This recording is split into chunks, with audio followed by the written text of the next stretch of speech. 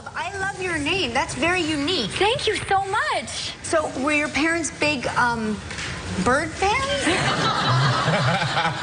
I think my parents were just hippies. My Oh, sister yeah. got a normal name, though. What's her name? Claire. Oh, Claire. A lot of you probably already know this, but you go by Dove, but you're you were born as Chloe. Yeah. So why did you decide to choose Dove as your name? So okay, so this is actually so I tell this story a lot. I'm super open about it. I think my parents were just hippies. You're you were born as Chloe. Yeah. My Oh, sister yeah. got a normal name, though. You're you were born as Chloe. Yeah. It's really I'm super open about it. I think my parents were just hippies.